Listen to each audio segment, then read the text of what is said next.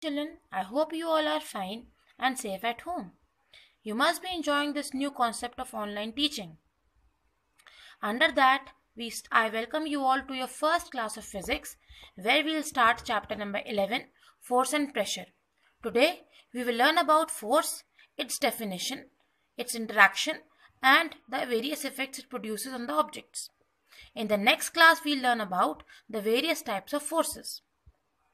Right? So now, let us begin. Uh, when you want to move an object, for example, you want to shift a chair or you want to drag a table towards you. What do you do? You push it or you pull it. When you are doing this, what are you actually doing? You are applying certain kind of force. So what is force? Force is a push or a pull which can cause an object to move or show movement in that object. It can always be uh, in terms of pushing and pulling. For example, when you are lifting up an object, that will be defined as pulling. When you are kicking something or pushing something away, that is a push. So force, all the forces that you are applying will always be a push or a pull. There may be very, various other examples which will make it more clear. See, look at the screen. You have you see many examples given there, right? Some are the examples of a push, the other is a pull, but all of them are the forces. So force is a push or a pull which can cause the movement in an object. Like driving a nail through a hammer inside the wall. What is that? It is a push. Kicking a ball is again a push. Then lifting up a ball is a pull. So Force cannot be seen, but whatever effect it produces on the object, that we can easily observe. Now let us summarize. What is force? Force is a push or a pull or both which cannot be seen but the effect that it produces can be seen on the objects. Now force cannot always be either a push or a pull. It can also be a combination. For example, you lift a ball and then throw it. So lifting up a ball was pulling and then throwing the ball was pushing. Children, what is required for the force to act? For example, I am standing away from the table and I want it to move. Will it move? No, it will not because I am only thinking. I am not uh, doing anything. I am not pushing it using my hands. I am not using my legs. I am not doing anything actually. I am only standing there. Just like this picture. See the man standing behind a car. Unless until he pushes the car, the car will not move. The force will not be applied. So for the force to act, there should be some kind of interaction between the two objects. Getting it? So what is that interaction?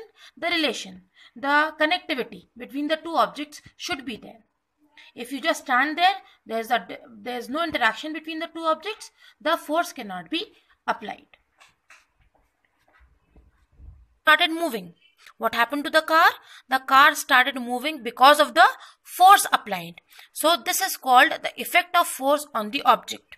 When the force is applied on the object, there are various effects which are produced. Remember this thing that the effects are produced on the object on which the force is applied. Now let us see various other effects as well. What is the first effect of force? That it can make a stationary object to start moving. For example, there's a ball and you now kick it. The ball was at rest. Now you kicked it, started rolling. This is what happened. It changed the state of rest to the state of motion. The body was stationary. Now it started moving. This is the first effect of force. Now supposing the body is already moving. What happened? When you started applying the force in the same direction, the body started moving faster.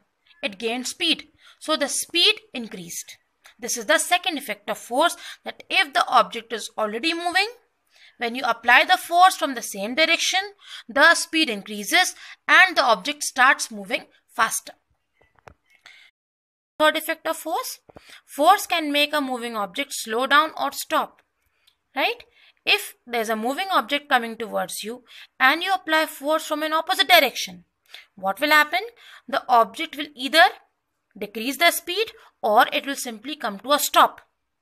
like somebody is coming on a bicycle towards you you put a hand on the bicycle the bicycle if does not stop it, it starts moving very slowly the speed is decreased right? And if you apply more force it will simply come to a stop.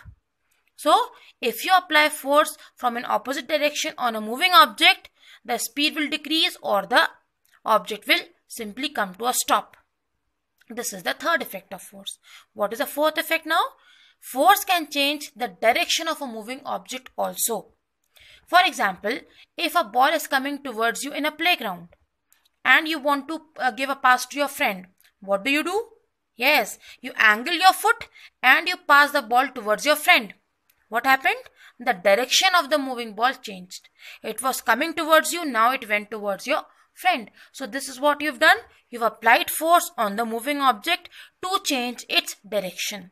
The same goes for the object at rest also. You can drag up, uh, you can pick up a stationary object and change its direction. It was kept in the corner of the room. You can lift it and change the direction. Now it is in the center of the room. Like for example, a table or a chair. So this is the fourth effect of force. What is the fifth and the last effect of force? For example, you take a sheet of paper and you crumple it. The sheet was rectangular in shape. Now you crumple it into a, a slight say kind of a ball or an oval shape. What have you done? You have caused the object to change its shape. This is the fifth effect of force that force can change the shape or size of an object. See in the examples given, you can stretch a spring, you can squeeze a lemon, you can squeeze a tube. All these are the examples of change in the shape of an object by applying force. This is the summary of the effects of forces. What are the effects of force? First, let us quickly recap. First, force can cause a stationary object to move. It can slow down or stop a moving object. It can, it can increase the or decrease the speed of a moving object. It can change the direction of a moving or a stationary object. It can cause a change in the shape or size of an object. All these are the five effects of force. I hope you understood the topic very well. Try to answer the uh, questions that are following. This is your assignment. You have to do the questions in your fair physics copies. You have to make a single lined 140 page notebook for physics and you give the chapter number and name properly and attempt all these questions. Define force. What is the condition required for the force to act between two objects? State the five effects of force and give examples of each of them. Classify the following examples as a push or a pull. And then what these examples are given, you have to classify them as which effect is it. Which effect of force is used in this. Right? I hope you enjoyed today's lecture. Hope to meet you next time. Stay safe, stay healthy.